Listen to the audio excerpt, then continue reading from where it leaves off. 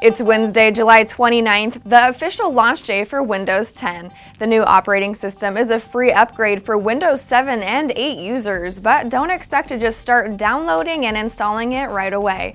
Microsoft is making this a hands-off process, meaning most users will have to wait until the installation software has downloaded in the background to their device. If you don't see the pop-up notification, you may have to get your computer ready with a few updates to your current operating system. For a guide on how to get ready for Windows 10, check out the link below.